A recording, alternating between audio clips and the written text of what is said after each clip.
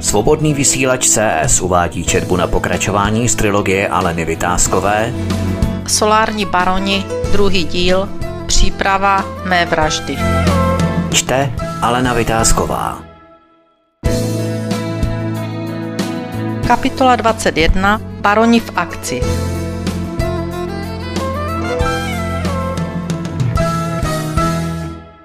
Co jsi to s ní dojednal? Četl jsi zprávy? Ona nám chce bloknout veškerou naši podporu.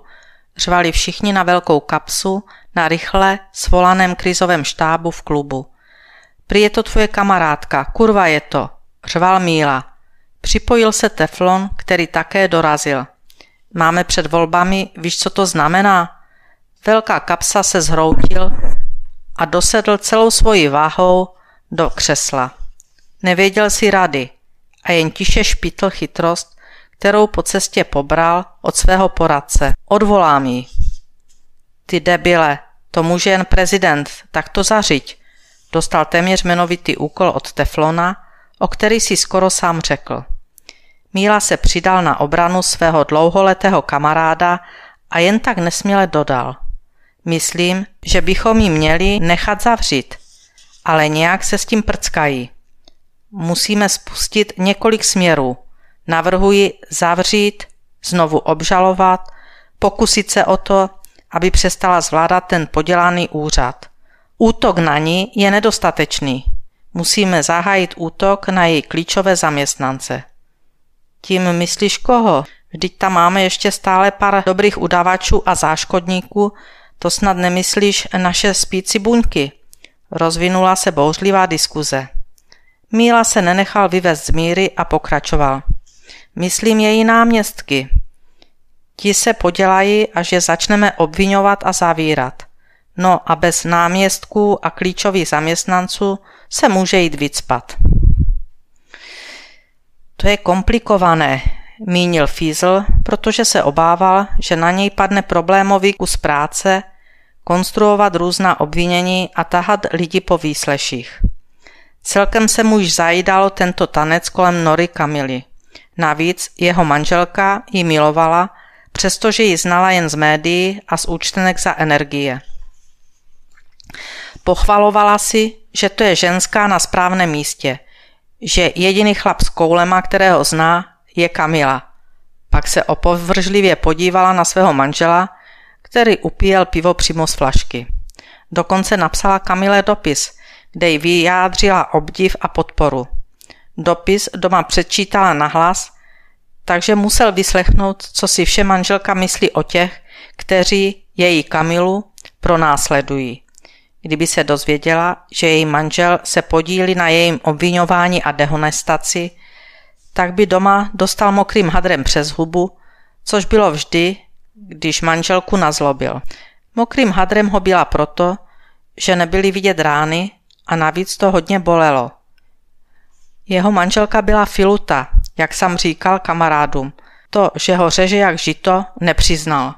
V duchu si říkal, kdybych měl aspoň modřiny, Mohl bych ji žalovat za týrání, ale bez důkazu, kdo by mi věřil. Toho si byl vědom.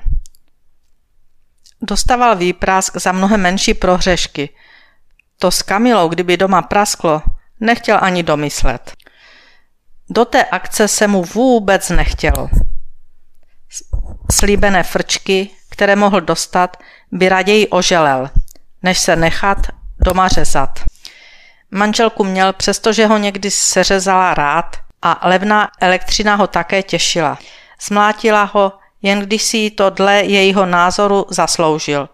Po takovém výprasku si vždy řekl, však co, jsem chlap, tak snad něco vydržím. A bylo. Doma hlasitě, tady jen ve skrytu duše, noře Kamile fandil. A že se nedávno postavil vládě, ho hřálo u srdce, přesto musel mlčet aby si zachránil židli pod zadkem. Nebyl zrovna bez viny a jeho hypotéka by se bez příjmu, kdyby ho náhodou vyhodili, stala nesplatitelnou. Nápad likvidovat nejbližší spolupracovníky Nory se modrookému zalíbil natolik, že požádal Talára o vytvoření podmínek pro rozsáhlou akci. Fiesel se potil a netroufl si říct, že se mu to příčí. Byl vypracován projekt na likvidaci okolí Nory, na další dehonestaci úřadu. Lopata seděl v koutku s hrabětem a tiše debatovali, kam zmizel Sergej. Serioža, nebo jak se vlastně ten zmetek jmenoval. Po něm se skutečně slehla zem a nikdo nebyl schopen vypátrat, kam se nájemný vrah poděl. Velmi šikovně se zbavovali všech, kteří cokoliv věděli nebo jen náznakem mohli vědět o likvidaci Kamily. Nebýt toho, že za nimi přišel Fízl a popsal dopis a zprávu od Mukla, který se nějakým záhadným způsobem dozvěděl o přípravě vraždy Kamily, tak by si mysleli, že všechny stopy až na Sergeje již zametly. Fízl jim předložil dopis, který Mukl zaslal Kamile. Předložil jim spis, kdy Mukl poslal informace jak na policii, tak prokurátorovi a dokonce i parlamentu. Hrábě jen hleděl a v duchu si řekl. Tak to se nedivím, že chameleon tak zuřil. Kdo jen mohl žvanit? Neřekl vůbec nic, jen gestikulací ruky naznačil něco, jako mukl musí být po smrti. Fízl ještě chvíli seděl a nechal si vyložit, jak mají postupovat proti náměstkům Kamily. To, že je má obvinit z čehokoliv, pochopil, ale ne úplně. Chtěl mít jasnější pokyn, ale toho se mu nedostávalo. Již se všichni bavili o něčem jiném a nechávali postup na jeho představivosti a odvaze. Odvahu měl, věděl, že má krytá záda a že si může dovolit cokoliv. Možná, že by mu prošla i vražda, ale to si nebyl jistý. Co s těmi chytroliny z úřadu mám udělat? Přisedl si k talárovi a začal žadonit, jako když si dítě chce usrknout pěnu piva. Nemůžeš mi pomoci? Víš, že s vámi to jde lépe. Ani talárovi se do této taškařice nechtělo, ale co naplat? Větší bere, tak začal ze sebe sypat blbosti. Nakonec se jim podařilo dokončit plán na likvidaci pracovitých a úspěšných zaměstnanců úřadu.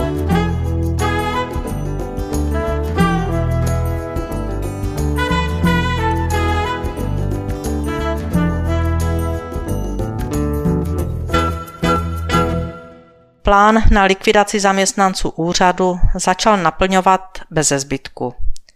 Jeden za druhým byli předvoláváni a práce jim byla znechucována tak, že někteří odešli sami, jiné musela Nora odvolat, protože se přidávali na stranu mafie a to jen proto, že se báli, prostě ne každý je statečný, chtěli přežít a doufali, že stojí na vlivnější straně. Nora si znovu četla zprávu, kterou jí Elis dodala – z toho, že se vše naplňuje tak, jak bylo v této zprávě popsáno, jí běhal mráz po zádech. Upíjela svoji oblíbenou kávu a četla, jak sama usoudila soubor různých odposlechů.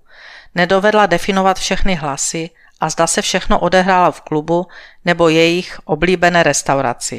Tak pánové, již jsme na ní zkusili téměř vše. Říkám téměř vše. V úřadu se drží jak klíště, to není normální. To opravdu není normální. Normální to není, oponoval účastník diskuze, protože ona je švihlá. Říkal jsem vám od počátku, že to bude jen hromada problémů. Taky jsem vás upozorňoval, že ona se tak jednoduše zlikvidovat nedá. To bylo pořád. Uřežeme jí hlavu a pak bude úřad zase šlapat. Upozorňoval jsem vás, že dokud bude mít podporu v zaměstnancích a těch jejich náměstcích, tak s ní nic nehne. Musíme změnit taktiku. Musíme zaútočit na její klíčové zaměstnance. Některé skorumpujeme, nabídneme jim jiná, lepší, lukrativní místa. Obviníme je, to budeš zařizovat ty.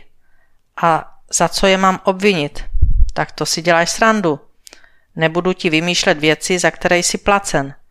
Pokud je začneš štát po výsleších, tak se z toho poserou a odejdou dobrovolně. Dobře, tak to rozdělíme. Tady máš seznam těch, kterým dáme nabídku na práci v Energotaku. Nebo kdekoliv, kde dostanou o nějakou tu tisícovku více. Tu náměstkyni jsme již skolili, ta je tak nemocná, že se složí sama. No, s tím bych nepočítal. Jezdila na chemo a chodila do práce. Myslím, že je třeba na ní také zatlačit ať si marodí doma. A pak je třeba jí slíbit cokoliv. No a ti její showmeni taky se skorumpovat nedají. Tak je obviníme. Jo, s nimi si dělejte, co chcete, ale stíhaní je nejlepší. Kamila nám dělá opravdu tolik problémů, že tu bábu nenávidím. Ale když se všivák drží, tak ji vystřílíme její okolí a sama nemůže dělat. Tak kluci do práce, co nejdříve tam pošlete přepadovku, ať se smetci vylekají. Nora si dělala poznámky, co se z této informace již naplnilo. Pobrukovala si pochod židů z Nabuka, kroutila hlavou a nestačila se divit, jak její úřad je ničen státní zprávou. Jak poctiví zaměstnanci, mnozí z nich mají odpracováno více než 40 let poctivé práce pro tento stát, jsou absolutně bezdůvodně tahaní po výsleších. Jak jsou podrobováni mnoha hodinovým výslechům jako zločinci. A to jen proto, že se organizovaný zločin dostal do nejvyšších pater politiky a to jen proto, že kdokoliv se postaví zločinu do cesty, je nakonec peněz daňových poplatníků likvidován. Ano, zločin a zlo. Používají moderní metody likvidace svých odpůrců. Používají své loutky, politiky, kteří jsou zločinu zavázáni a pak musí plnit jejich požadavky. Nora se sama sebe ptá, proč jsou volby, když si zločin dodá své loutky a pak si je jen vodí. Přece není možné, aby se takto zrazovali obyčejní lidé. Myslím, že je to vlasti zrada. Snad to bude v krátké době takto hodnoceno a všichni to neřádi stanou před soudem. Ale kdo je bude soudit? Nora usnula na gauči. Svobodný vysílač CS uváděl četbu na pokračování z trilogie Aleny Vytázkové Solární baroni, druhý díl, příprava mé vraždy. Četla Alena Vytázková.